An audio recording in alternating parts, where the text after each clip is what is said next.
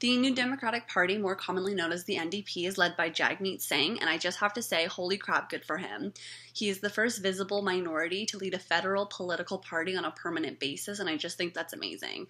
Times may be changing slowly, but at least they're changing in the right direction.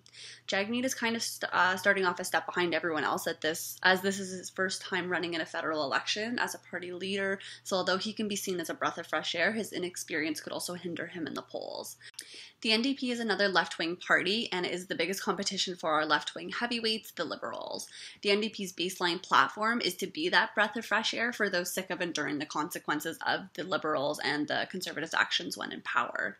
He is proposing his New Deal for the People. The six main focuses, as stated on the NDP homepage, are expanding Medicare, taxing the ultra rich a little bit more, fighting climate change, building 500,000 homes to ease the housing crisis, committing to a meaningful reconciliation with Indigenous people, and lowering cell phone and internet bills.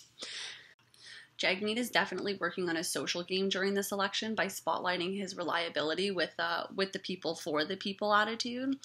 He's run a pretty confident campaign this election for the most part. However, I think the final hour may be shaking that confidence. During this last stretch of the 40 day election, Jagmeet has turned to a smear campaign against Elizabeth May, comparing the Green Party to the Conservatives. The NDP handed out flyers comparing the NDP, Green, and Conservative parties, attempting to show shared values between the latter two. The printed literature states that the Green Party, like the Conservative Party, is against access to safe abortions, which is a blatant lie as Elizabeth May's platform includes access to safe abortion services. I honestly think that this smear campaign is a bit of a Hail Mary out of fear of the Green Party's growing momentum that could potentially knock the NDP out of their current holding of third place, threatening the NDP's position in a coalition government. This is something that Jagmeet definitely wants. You saw in the headlines earlier this week that he had met with Justin Trudeau to talk about a coalition government between the two.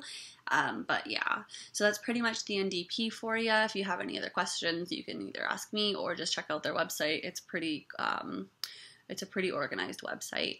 But yeah,